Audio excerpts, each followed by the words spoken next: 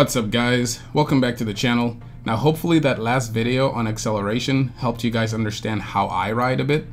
Now let's talk about how others ride and maybe explore some of their methods on riding an electric unicycle. You know, when you purchase a motorcycle or bike or car or any other mode of transportation, there's usually some type of formal training to go by, and so most people build some self-confidence within a short period of time. Add to that, there are guidelines to follow. For example, before you purchase a car, you must go to some driving school or take some tests to uh, attain a license of some sort in order to qualify you as a driver, or at least someone who will adhere to the rules of the road. You know, today if you own an electric unicycle, I say welcome to this brave and exciting new mode of transportation. However, unlike other modes of transportation, we unfortunately don't have guidelines or rules to give us an idea of what to expect at say 10 miles, 30 miles, or even 40 miles an hour. We have no formal lessons on how to avoid someone who suddenly gets in our way. But what we do have is each other to rely on in forums and the countless YouTubers with one to thousands of subscribers in order to gain some idea on how to ride an electric unicycle. So shout out to all the electric unicycle riders out there who have YouTube channels. So in this video, we will take a look at some riders who we know and have probably never seen and take a closer look at some of their riding methods. I've come up with a few uh, riding uh, styles. Um, for example, one is called Drunken Master, Crouching Tiger, Straight Man, the Grasshopper, which is me, Stiff Legs, and Explorer. Now each individual style can be static or dynamic. So you can have a Drunken Master style who's very dynamic, but it's really difficult to find someone who's a Drunken Master style who's static. But it's easy to find a straight man or someone with a stiff leg who is very static and not so dynamic.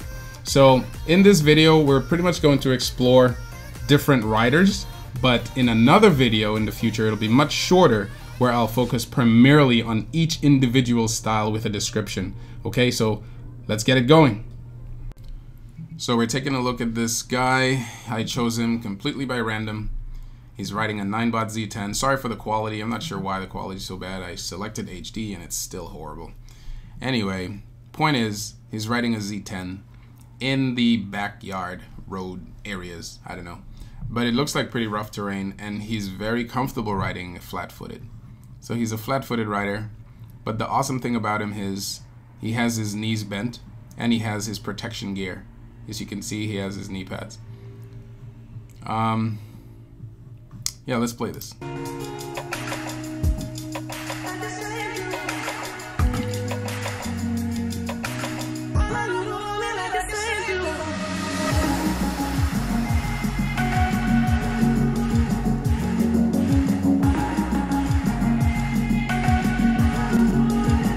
So as you can see, he's riding off of some pretty rough terrain and uh, he looks to be very comfortable.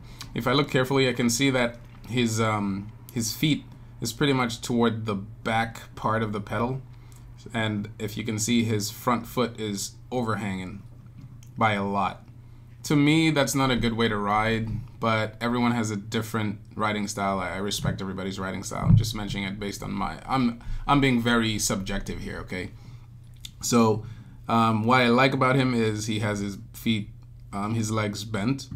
Okay, so his knees aren't straight, it's bent. So in case he encounters any type of like bumps or roots um, or anything like that, he's ready, you know?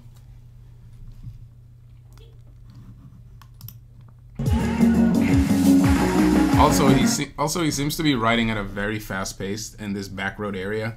The Z10's wide tire uh, pretty much allows for that. Of course, if you had like so if, if you had something like the InMotion V10 or V10F or even a Kingsong, I mean, these things have pretty thin tires compared to the Z10. But the cool thing about them is there's the tires are pretty big. You know, there's a wide diameter or circumference, I should say. And so, yeah, they should be able to go through this no problem. I don't see how the Z10 uh, offers a major advantage compared to these other wheels, but his riding style is pretty on point. I just don't like the fact that his feet are all the way to the back part uh, of the pedal and his front toes are overhanged so much. Because if he hits like a big bump, it's there's really very little he could do unless he bends his knees a little more. He looks like a very heavy set guy, so that also adds to his stability. If you're pretty light, I could see how because it's tubeless. The Z10 is tubeless, so if you hit something, depending on what um, psi you have, this thing will act like a catapult. You know what I mean? You hit something hard, it's just gonna throw you off. But he's pretty heavy. He's riding pretty fast. He seems like he knows the road, so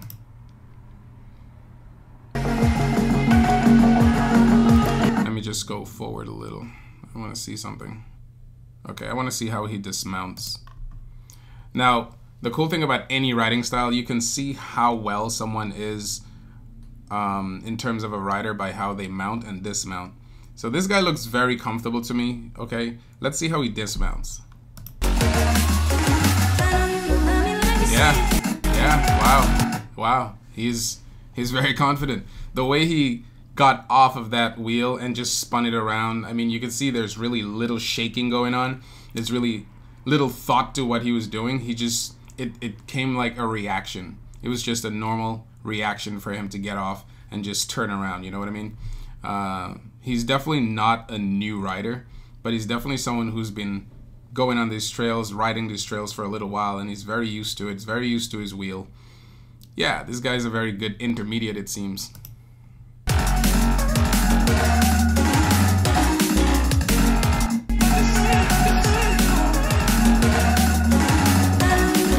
Now, I saw a little turning here and there, but uh, it seems like he uses his torso to turn.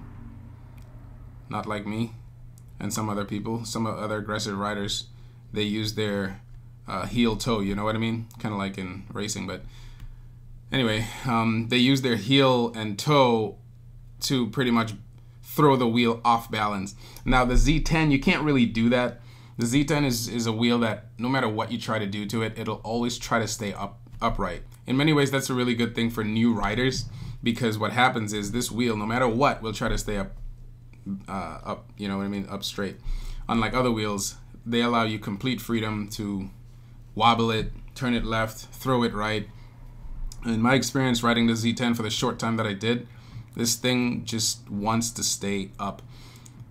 If you look at another rider, for example, Robert Ace, you'll see you'll have to literally throw your entire body to the left, throw your body entirely to the right if you really want to be able to experience the Z10 at a high speed, like 30 miles per hour, etc. But anything below 25 miles per hour, I think 15 to 25 miles per hour, you still kind of have to do that if you want to make sharp turns, like throw your body to the to the to, in the in the direction that you plan on going but you can't really turn it heel toe wise like you would any other wheel. I'm not sure if that's because of some software firmware thing. I think, in my opinion, it has to do with how the wheel itself is designed, like the tire. Um, but that was my experience. All right, so next up is EVX. If you don't know about EVX, check out his channel. He gives very informative reviews on electric wheels. And my thing about his channel is I absolutely love his editing skills. So definitely check him out. Now, with him, I've had the chance to ride with him for a little bit in New York, and he's a, I would consider him an intermediate aggressive rider. Um, okay, so what happens is I notice he rides flat-footed like everyone else.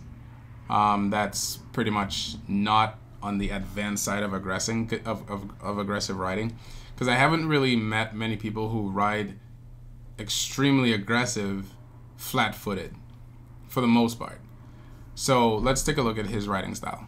First off, we see his heels are in the back pedal. It's very flat. His knees are bent. That's awesome. Plus, also what we're seeing is he's using his torso to uh, pretty much sway the wheel left and right. Now, that could just be because he's going at a low speed right now. Maybe at higher speeds, he may use his heel or his toes, I'm not sure. But for now, we can see that he's using his torso to sway the wheel left and right. Now, people, some people did say that the Kingsong 16X has that um, tendency to force you to throw it left and right, similar to the Z10 because of its fat tire. I did have a chance to ride the Z the uh, Z10 and the Kingsong 16X, and I didn't experience that much of a resistance in terms of throwing it left and right or being able to turn it left and right compared to the Z10. I actually found it to be a really nice wheel. It felt like a Gotway to be honest. Okay, so here he is riding the Nikola Plus. And as you can see, he's he's very flat-footed. And he is using, if you look over here, you can see that one of his knees is a little bit forward than the other. That could be a camera effect, I'm not sure, but it doesn't seem like that to me. But he is using his torso, for the most part, to uh, turn left and right. Now, if an emergency happens, like let's say a car just suddenly comes in his way, I don't think he'll have the reaction time to pretty much swerve from the car into safety as fast as he would like to. But that's fine because I think, in my opinion, he compensates for that by looking ahead. You know what I mean? He knows the city streets. His this is his neighborhood. This is his background. This is his backyard. So he knows what to expect for the most part. You know what I mean? So his writing style is not entirely based on an aggressive posture per se, um, because he pretty much knows what to expect. Because I don't see how someone who rides like this can avoid uh, you know, a, a, car that just randomly decides to turn left or turn right without, you know, like some people they turn left without thinking with before turning on their signals or whatever. Um, in a situation like that, I would assume that he would brake instead of trying to swerve left or right. He would attempt to do an emergency brake. Um, in my case, if something like that happened, yes, I'd try to brake too, but because I'm aware of the style I have, I may swerve to the left or may swerve to the right while braking. I don't know. But I'm more likely to get away from the car instead of braking. Because again, I don't know what's back there. My focus is on what's ahead of me, right? So let's just look at him ride. So he's very flat footed. Very flat footed. I like the carving. The carving is amazing because you should be able to throw your wheel wherever you want. Like your wheel should not be the one controlling you. If you're flat-footed, heel-toe person, whatever, it doesn't matter. The point is you should be able to comfortably throw your wheel around wherever you want, whenever you want, however you want. You know what I mean? Because if you're gonna ride in traffic, one style is not enough. You need at least one style that you can um, use most of the time and another style that you can use to transition into in case of an emergency, etc. You know what I mean? Because traffic is unpredictable, but at the same time, riding in traffic is actually safer than, for example, riding in a in a bike lane, for example, right? So yeah, he's he's he, I consider him an intermediate aggressive rider because he's very he's more on the careful side, which is good. His I recommend being careful. I mean, why wouldn't I recommend that? Do not be um, aggressive and irresponsible at the same time, right? Why would you want to do that? But yeah, so I think most people that I've seen ride like him. Yeah, so no matter where I go, it seems like he he uses the same style. Now, when he's going straight, this is a bike lane. When he's uh, accelerating, it seems like again he's flat-footed and he's a leaner. He's one of the types of riders that lean in order to gain acceleration. Now, one thing I should say about such riders is uh, if you're weighing over 200 pounds, if you weigh over 200 pounds, then I recommend getting 100 volt. Because if you lean and that's your main uh, way of gaining acceleration, then you need as much power as you can possibly get out of the wheel. Because one of the commenters told me the purpose of having a 100 volt or whatever um, is not necessarily for speed. Okay, it does help, of course, but the main purpose of these designations 84 volt, 100 volt, and soon hopefully 126 volt is basically the ability of the wheel to keep you upright. So if you're leaning forward at 200 miles per hour, that's fine if you're just gaining little acceleration. But let's say you're really trying to get off the line and trying to beat someone or whatever, or some car or whatever. Well, that 200 pound weight is at some point going to uh, overpower the wheel, allowing, you know, pretty much causing for a cutout. But if you have, if you if you're over 200 pounds and you have a 100 volt, which is right now the most powerful wheel any 100 volt is powerful, right? Then you have more power than needed for your over 200 pounds in order to lean forward. I don't ever recommend leaning forward, but if you're under 160, under, under 170, etc., basically under 200 pounds, well, let's just say under like 180 below, then you're good. You know, you can lean. But I just don't like leaning. I just don't like it because roads are not perfect. Okay? In an ideal world, leaning would be beautiful. But there's so many things you could encounter. And leaning just does not allow you or give you the amount of time needed to recover in case you encounter a bump, uh, a pothole, um, a speed bump, anything, emergency. It's just it's just not an ideal way to gain acceleration while being an aggressive rider. Some people do it really well though. I'll show you an example. Yeah, so what I'm noticing is uh, when he's braking, again, he's literally breaking with both feet while leaning backwards.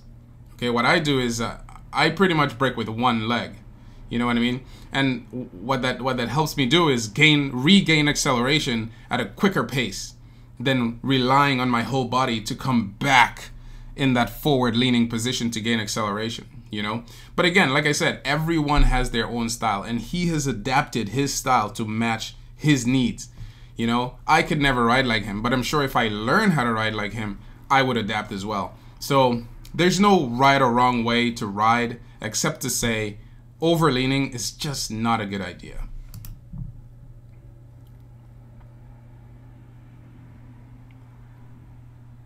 I really like this. This is nice. This is beautiful. You see? So when you're comfortable with your style, you make it look effortless, right? And that was beautiful. Let's go see that again. That that was that was beautiful.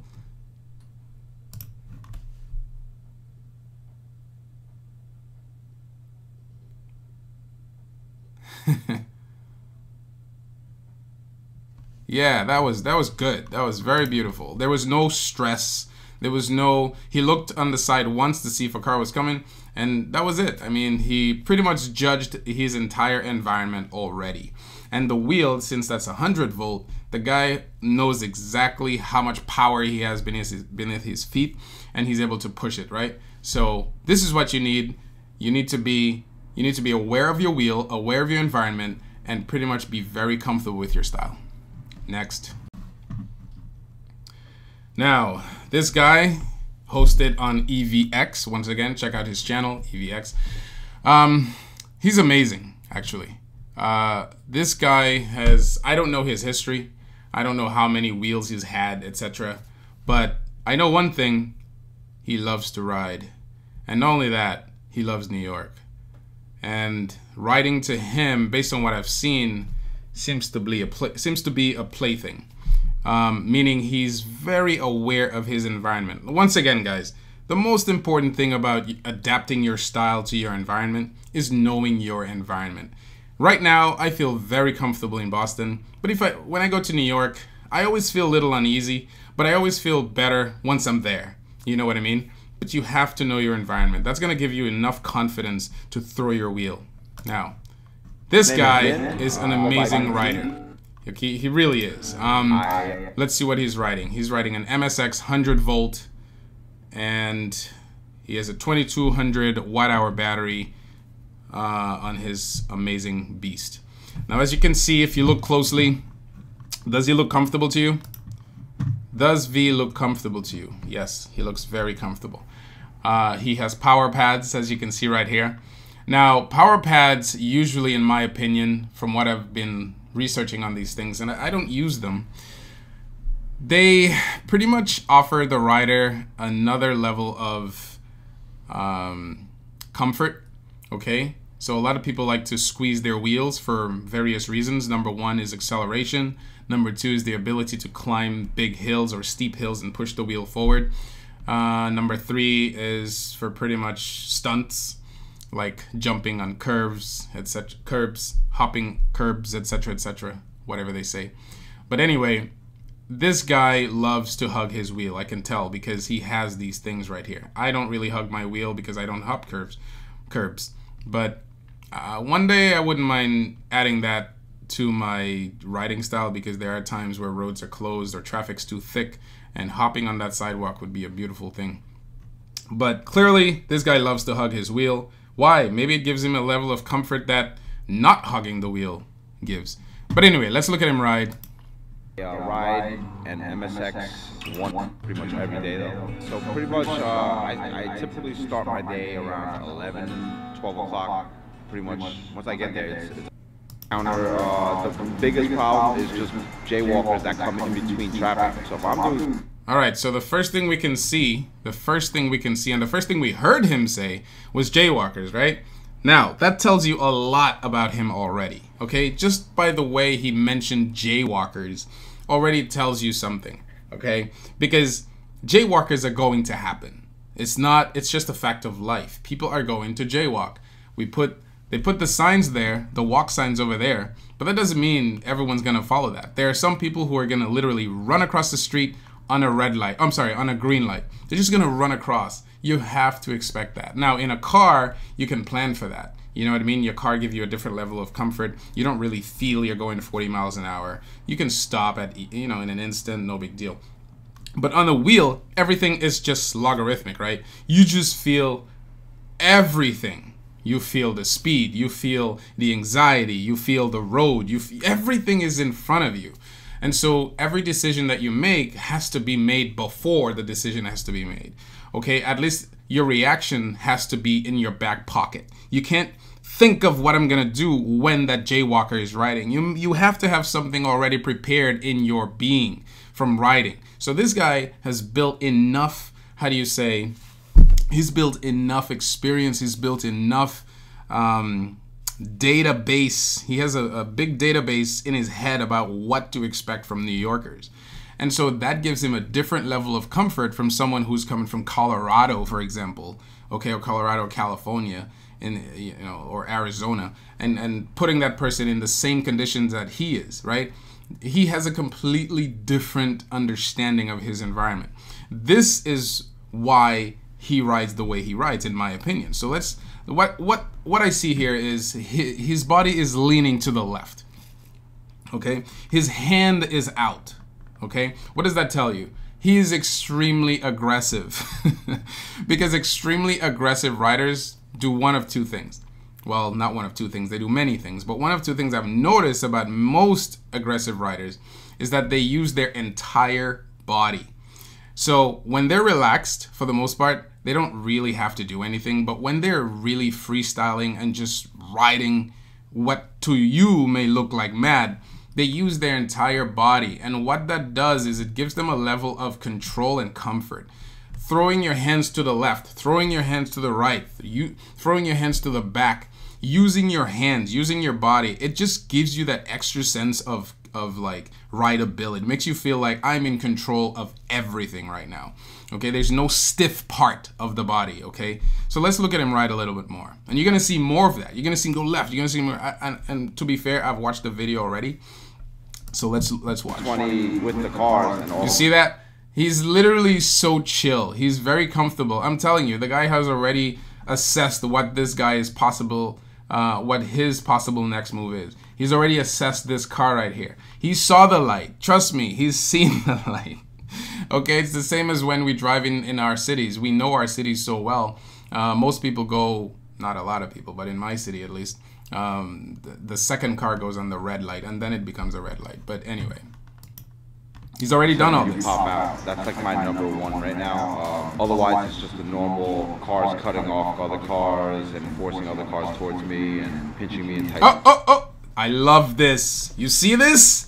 So basically, they're they're different riding styles, and at the end of this video, you'll see what riding style I designate him.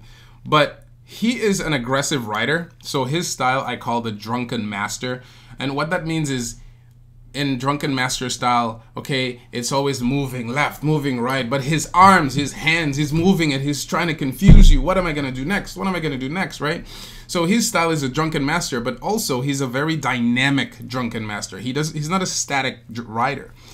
Also, I consider him an explorer because an explorer riding style, what that does is what that means is if you're if you're an explorer riding style, uh, it means that you use different styles at different in different scenarios. So for example, when he's chilling, he's just riding, his foot are, his foot is flat, but his body is going to the left, it's going to the right. He's throwing the wheel wherever he feels like it. His hands are flailing what seems to be, you know, flailing everywhere, but really he's just showing a different level of control. He's showing way more control than uh, a new rider or an intermediate rider would show. Now, if you notice, the bus is in front of him right? And if you look at the lights of the bus, it's red. That means it's holding brakes. That bus is stopping. We can tell because it's red light up there and all the cars in front have stopped already. But look what he does. He doesn't freak out. He lifts his left heel. This is my style. But he uses my style for a different reason. It's not my style. I'm just I'm just saying like that's what I use, but he's using this one for a different reason. He's using it to throw his wheel to the left. But at the same time, he's throwing his wheel to the left. He's gaining acceleration to move forward. Check this out. Let's go back a little so we can see the whole thing. The car's towards me and pinching me in tight spaces. It's pretty much it. Half the battle. And then he goes back down. Really just... And then he goes back down to being flat-footed.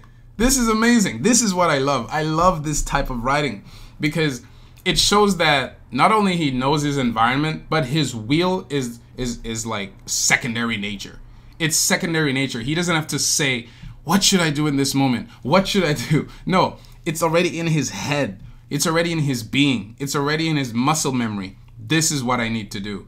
So, all these cars to any average rider would cause someone to slow down and simply go through the traffic, looking left and right, and, and, and some anxiety would be there. But with him, there's zero anxiety. Well, if not zero, very minimal anxiety. You can tell because his hands are everywhere. This shows comfort. This shows control. This shows, listen, I know this environment. I know a car can hit me at any moment, but the thing is, I have maximum amount of awareness that I need in order to push this wheel.